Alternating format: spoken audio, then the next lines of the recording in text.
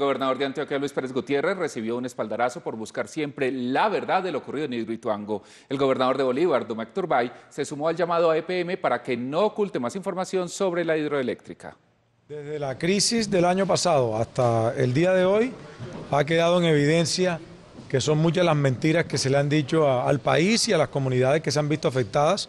La posición del gobernador de Bolívar se suma a la preocupación que desde siempre ha expresado el mandatario antioqueño. Dumek Turbay anunció que respalda la acción popular que la Contraloría ha presentado ante el Tribunal de Cundinamarca relacionada con la contingencia.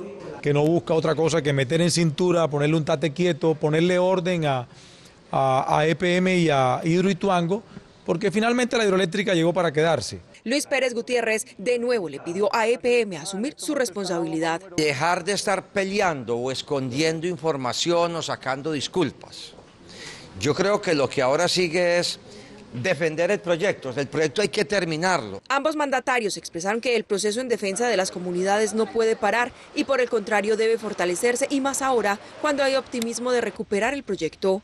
Expertos aseguran que la recuperación de Hidroituango puede costar unos 2 mil millones de dólares, es decir, 5 o 6 billones de pesos.